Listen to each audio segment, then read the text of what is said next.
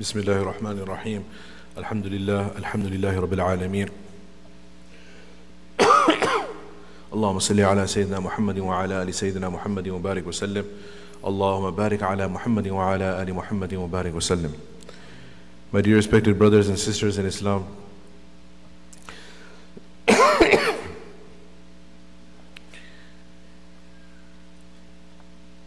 Just a reminder for everyone that we do give opportunity for sunnahs to be performed after the speech, before the khutbah.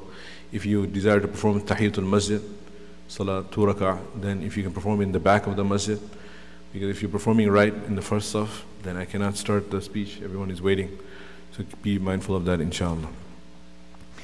In any case, uh, the few minutes we have, inshallah, I wanted to remind myself and everyone that in the summer months after the month of Ramadan, this is a time when we have many, many weddings in our community. And this is referred to as the Shadi season. Sometimes people refer to it as the, the season of weddings. Particularly in the month of, in the summer months, but since Ramadan comes, that has been further squeezed. So there are so many weddings taking place uh, every weekend in our community. And a few points for us to remember regarding weddings is that, of course, this is the sunnah of the Anbiya alayhi salam, the order of Allah subhanahu wa ta'ala. Allah has given us His permission in the Quran.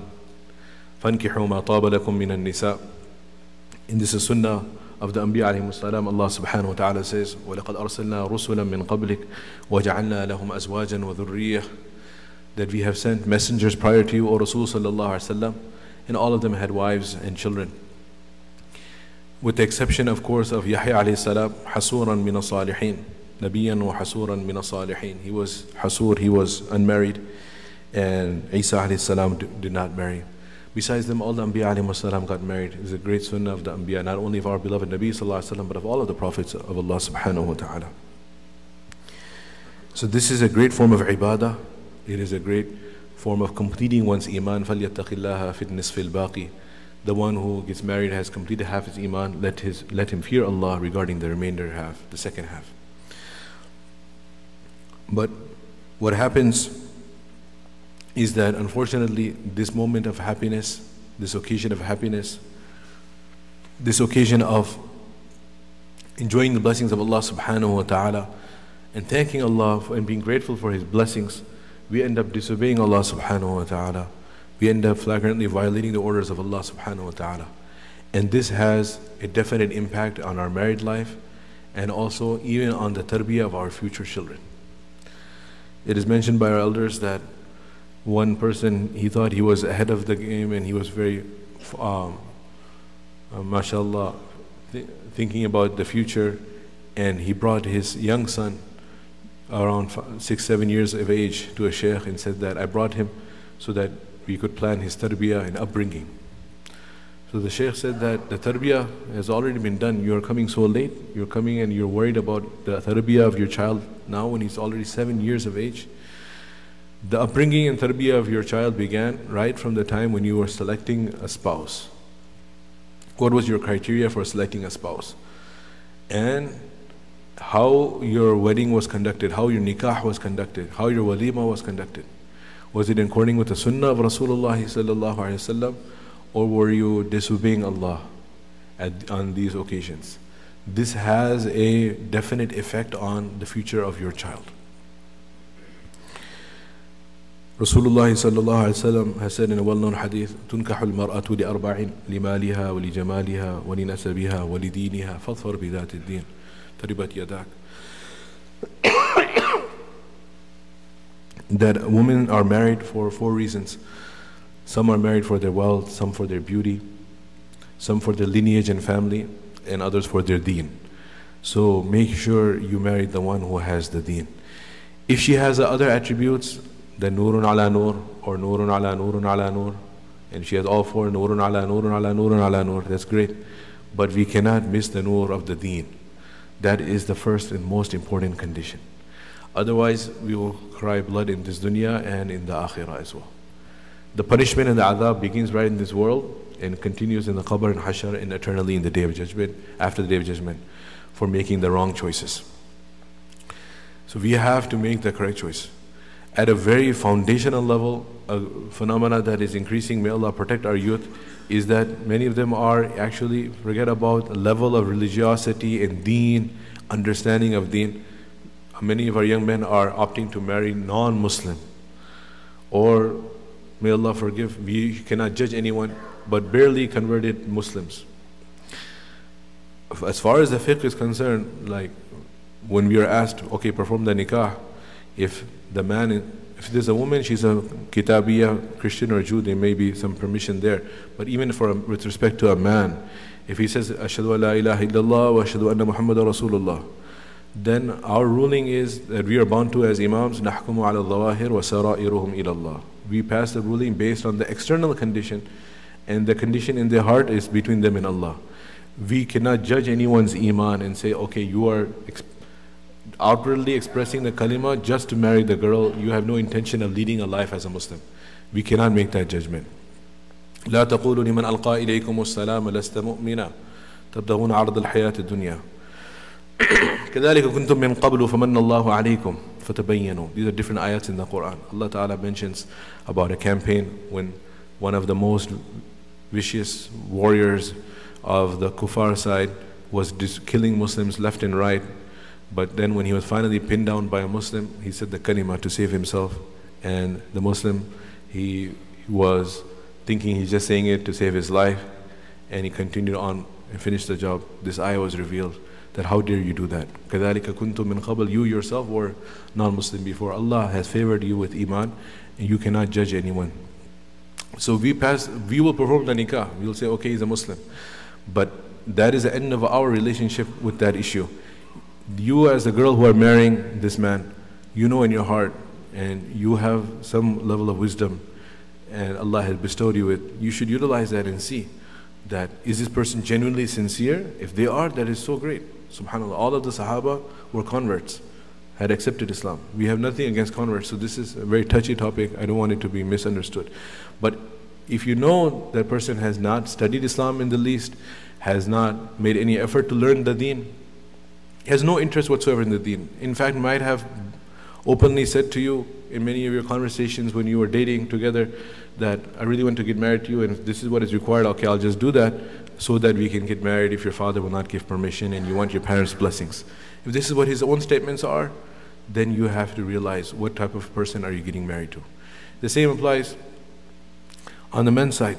Allah subhanahu wa ta'ala says, وَلَأَمَةٌ مُؤْمِنَةٌ خير من مشركة ولو أعجبتكم and ولأمة مؤمنة a believing woman is far better for you Allah is saying in the Quran Surah Al-Baqarah خير من مشركة is better than a mushrika disbelieving polytheistic mushrika woman and Allah is saying even if she is more beautiful ولو أعجبتكم even if you are overawed and you are impressed by and you're swayed by or you're falling in love with the external beauty of that mushrika, don't fall for that. Allah Ta'ala says, أُولَٰئِكَ يَدْعُونَ إِلَى النَّارِ These are such partners which are inviting you towards the fire. Allah mentions both in fact. After amatun mu'minatun khayrun min mushrikatin. Allah Ta'ala says the whole ayah, let me recite it. وَلَا تُنْكِحُ الْمُشْرِكِينَ حَتَّى يُؤْمِنُوا Allah says, do not marry your daughters to mushrik men until they believe. وَلَعَبْدٌ مُؤْمِنٌ خَيْرٌ مِنْ مُشْرِكٍ وَلَوْ أَعْجَبَكُمْ and, and a believing uh, male is better than a mushrik male, even if you are impressed with the wealth and with the talents and skills and position of the mushrik. And wala amatun mu'mina khayrun min mushrika. And a, and a mu'mina girl is better than a mushrika girl, even if you are impressed by the beauty of the mushrika. And then, in, no clear, in very clear terms, uh, in a very simple manner, Allah makes a very sweeping judgment here and distinction between these two groups. He says, أُولَٰئِكَ يَدْعُونَ إِلَى النَّارِ وَاللَّهُ يَدْعُو إِلَى الْجَنَّةِ وَالْمَغْفِرَةِ بِإِذْنِهِ They are inviting you towards the fire, and Allah is inviting you towards Jannah and forgiveness from His fadl. Jannati wal maghfirah. Jannah and forgiveness. And his, through His fadl. This maghfirah is not because you earned it, it's from His fadl. وَيُبَيِّنُ آيَاتِهِ لِلنَّاسِ لَعَلَّهُمْ يَتَذَكَّرُونَ And Allah clearly is mentioning His signs for people so that they may take heed and lesson. This is a lesson for us. How can we uh, fall for the beauty? And this is a sickness of the youth. Because many parents are coming, they have, they're saying we have Muslim daughters and they're not getting proposals. There no one is ready to marry them. And many Muslim young men, their fathers are coming and saying our sons are getting married to non-Muslim girls. We are seeing this happening. Or sometimes remaining as a Christian because of the permissibility of marrying a kitabiya, and other times, if they truly accept Islam, that's great. Another person added to our ummah, we are happy for that. But in the cases that they are not accepting Islam and they're getting married while they are still Christian, this is happening. So we have such a culture where we are so fixated with external beauty. And just in Ramadan, in our itikaf, we used to have the question and answer session. Some of the questions that came from the youth, they were anonymous. Uh, they're very revealing about the state of the mind. Some of them are asking that, is it permissible if you make specific du'as for guidance of um, particular models or some beautiful girls in our school, in our college? No. Particularly making dua only for their guidance so we can marry them. So that means this, this, this young man is so infatuated with that that that is the only thing on his mind. He cannot see all the beautiful Muslim girls that Allah has provided in the community. There are our daughters, our sisters, and, and he does not have any concern about them.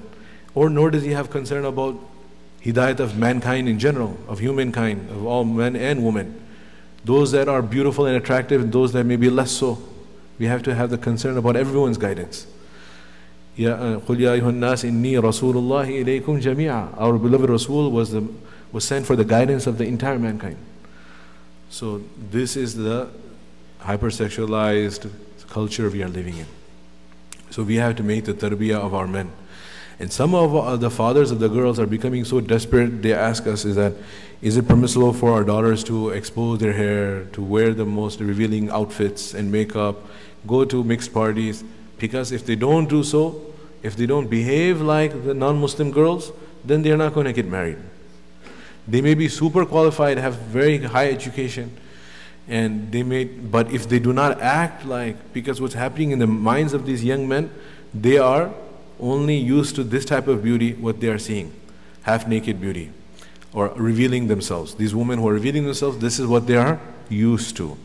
So what is happening, and this is what they like, this is what they appreciate, this is what they enjoy. Now, if our sister, or daughter is wearing hijab and is modest, then that's not appealing enough. They're rejecting that. So is it okay for them to do this? The, the situation has become so desperate for many families. Na'uzubillah.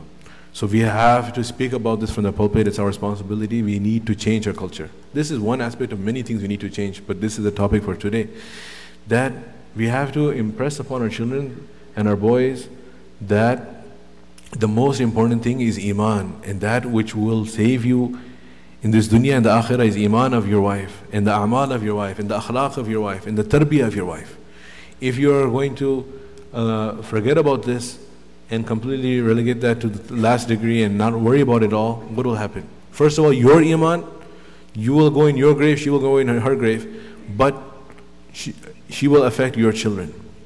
We see that the role of the mother with respect to the raising of the children is something that right from the Quranic examples we can see that when Asiya salam was such a pious and righteous woman, despite the father figure being Fir'aun, the most accursed individual ever, what was the child, who was the child raised in that home? Musa Kalimullah, the Rasul of Allah sallallahu alayhi salam. Musa alayhi salam was raised in a home because he had the training. Of course, his own mother, biological mother, also nursed him. But afterwards, he grew up with Asiya alayhi salam, who said, قُرَّةُ عَيْنِ لِي وَلَكَ لَا تَقْتُلُوهُ عَسَىٰ أَن يَنْفَعَنَا أَوْ نَتَّخِذَهُ وَلَدًا وَهُمْ لَا يَشْعُرُونَ She told Fir'aun when she saw him for the first time, this baby boy will become the coolness of my eyes, your eyes. Do not kill him. We will adopt him as a child. He will benefit us. And he benefited her she became a mu'mina. She became one of the best women of all times. And on the other hand, we have Nuh alayhi salam, who is Najiyullah, who is Rasul of Allah, who is min al-ulul azam min al-Rasul, the highest category of prophets. But when his wife was not a believer, when his wife did not accept Islam, then we have the son Canaan, who despite the fact that his father is a prophet of Allah, was not guided by Allah Ta'ala, was not granted hidayah, entire is a kafir. يا نوح إنه ليس من أهلك إنه عمل غير صالح فلا تسألني ما ليس لك به علم When Nuh alayhi made dua to Allah subhanahu wa ta'ala, Oh Allah, inna ibni min ahli, my son is from my family, wa inna wa'adaka al-haq, your promise is true that you will save my family. Then Allah responded and said that innahu laysa min ahlik. Oh no, he is not from your family. Innahu amalun ghayru salih. He does not have righteous actions. فلا تسألني ما ليس لك به علم. Do not ask me regarding things you have no knowledge of. إني أعذك أن تكون من الجاهلين. I warn you that you do not be among the ignorant ones. Allah is telling Nuh alayhi salam. So the mother, we see that the father's role is limited. We cannot completely negate the role of the father by saying he has no role whatsoever, absolutely no influence. Of course he does, but the role of the mother is far greater and superior. May Allah subhanahu wa ta'ala give us this understanding. So that we raise, on one side, we raise boys who have their head screwed on right, understand the value of the deen. And on the other hand, we have to raise such daughters as well, who will become beautiful mothers of the next generation. Speaking of Asiya alayhi salam, reminds me and I conclude with this hadith of Rasulullah sallallahu alayhi wasallam, where he said, خير نساء العالمين أربعون. The best women of all times are four. And he mentioned two mimman kana qablakum, two from the previous generations, and two from this ummah. And these four women that he uh, highlighted in this hadith, each one of them signifies or portrays or exemplifies, personifies one very outstanding trait. Four different women, they represent four beautiful traits. They had many, many traits each one, but they excelled in one trait each that they are most known for. Two from the previous nation, he mentioned the first one, Maryam alayhi salam. Maryam bint Imran, the mother of Isa alayhi salam. And her most outstanding trait was her haya, her modesty. And how modest she was and how she protected herself, her chastity, that even from childhood she was kept in seclusion in ibadah and we do not have time for the whole story of how when her mother was pregnant, Hanna she made that vow to Allah, Inni natharatu laka ma fi batani muharrara. Oh Allah, the, she was assuming was a boy. She said, the boy that I am carrying in my womb, he, I dedicate for your sake to be an imam and alim of Masjid al-Aqsa. But when she delivered the boy, the baby, it was not a boy, it was a girl. So, you know, she could have said, she should have said logically, Oh, walaysa al This girl is not like a boy. This girl is not going to become the Imam Masjid al-Aqsa because she's a girl. But rather, she, Allah Ta'ala reversed the statement and said, وَلَيْسَ الذَّكَرُ كَالْأُنثَى That the boy that you are seeking is nowhere near in rank to the girl that you have been given. وَلَيْسَ الذَّكَرُ فَلَمَّا وَضَعَتْهَا قَالَتْ رَبِّ إِنِّي وَضَعْتُهَا أُنثَى وَاللَّهُ أَعْلَمُ بِمَا وَضَعَتْ she said, Oh, it's a girl. And Allah says, I know better what you have delivered. وَلَيْسَ الذَّكَرُ كَالْأُنثَى Not وَلَيْسَ الْأُنثَى كَالذَّكَرُ وَلَيْسَ الذَّكَرُ كَالْأُنثَى Oh, the boy you wanted is nothing like the girl you actually got. He's, she is far greater in rank than the boy you wanted. So she was in the, she was doing ibadah growing up. Even when the angel comes to give her the bashara of, uh, she said, قالت إني أعوذ بالرحمن منك إن كنت تقيا قال إنما أنا رسول ربك لأهب لك غلاما زكيا He's, uh, she said, I seek protection of Allah. How a stranger you have come into my secluded place of worship. That's her chastity, her modesty. So we have to inculcate haya in our daughters. Number two is Asiya alayhi salam. Imra'atu Fir'aun. Her outstanding quality is sabr al masa'ib. patience at the time of difficulties. She accepted Islam despite being the most beloved queen of Fir'aun. She ended up suffering tortures and had a final torturous death. And she called out to Allah subhanahu wa ta'ala, وَضَرَبَ اللَّهُ مَثَلًا لِلَّذِينَ آمَنُوا إِمْرَأَةَ فِرْعَوْنَ Allah gives example for believing a woman till the day of judgment of the wife of Fir'aun. إِذْ قَالَتْ رَبِّ ابْنِ لِي عِنْدَكَ بَيْتًا فِي الْجَنَّةِ She said, Oh Allah, build for me a palace near you in Jannah. وَنَجِّنِي مِنْ فِرْعَوْنَ وَعَمَلِي Save me from Fir'aun and his oppression. وَنَجِّنِي مِنَ الْقَوْمِ الظَّالِمِينَ Save me from these tyrants. Allah saved her and took out her soul. So, no matter how difficult life will be for our daughters, whatever challenges they might face, if their husbands are not as kind for them, right, as kind, as chivalrous, you know, one, one particular parent, he brought some daughters and she was, they were saying that, you know, the reason we want to get married to this non-Muslim guy is because he actually opens the door for us of the car. He actually, you know, remembers us and give, buys gifts for us. They're literally impressed by this. So if this Muslim, if your husband is not doing that, you know, he's bad husband, but he cannot be as bad as Fir'aun. He may be bad, but he's not as bad as Fir'aun. Asi salam had so much sabr. So this is a quality of sabr. This is not giving license by any means for men to be like Fir'aun. Of course, I have to protect myself from being misunderstood. I'm saying on the sabr side, on her side, she can make sabr like the wife of Asiya and her rank will be elevated. And the third woman from this ummah is Khadija al-Kubra radiallahu anha. Her outstanding sifa is khidma and service to her husband, such that Allah Ta'ala sent a salam upon her, such that Rasulullah continued to remember her years, decades after she passed uh, passed away, or years after she passed away. And she passed away in the 10th year of Nabuwa, and he continued to remember after that. And Rasulullah when Aisha Siddiqa said, Ya Rasulullah, I'm your young wife in your company. Why do you remember that old woman who died so many years ago? He said that when I was uh, penniless. She supported me with, the, with her money. When I had no one to believe in me, آمنت بي لما كذبني الناس. She believed in me when everyone rejected me. And she gave me refuge when everyone else ex- uh, kicked me out. And she is the one who supported me in the beginning. How can I ever forget her? So her khidmah, she gave all of her fortunes for the khidmah of the deen. That is the attribute we learn from Khadija radiallahu anha we need to impart in our daughters. And the fourth one is Fatima radiallahu anha. Fatima radiallahu anha, Sayyidatu Nisa'i Ahl al-Jannah, Fatima bint Muhammad radiallahu ta'ala anha. Her uh, most outstanding attribute is her zuhud, her asceticism, her taqwa, her ibadah. And this is something we need to inculcate in our daughters. To be like Fatima radiallahu anha, to have that ibadah like Fatima radiallahu ta'ala anha. May Allah subhanahu wa ta'ala make it easy for us to work on these two fronts. And that we need to under, make our young men understand what is the most important quality to look for in a wife and not to be impressed and fall for the outer beauty. And number two is to raise such daughters that will be beautiful wives and mothers. May Allah subhanahu wa ta'ala make it easy for us in the coming wedding seasons with all the weddings taking place in our community that we continue to obey Allah subhanahu wa ta'ala at these happy moments. We gain the pleasure of Allah and the blessings of Allah and we do not incur the wrath of Allah subhanahu wa ta'ala. May Allah subhanahu wa ta'ala make it a means of creating more happiness and beautiful children coming into this dunya that will become a means of coolness of our eyes in this dunya and elevation of our status in the akhirah.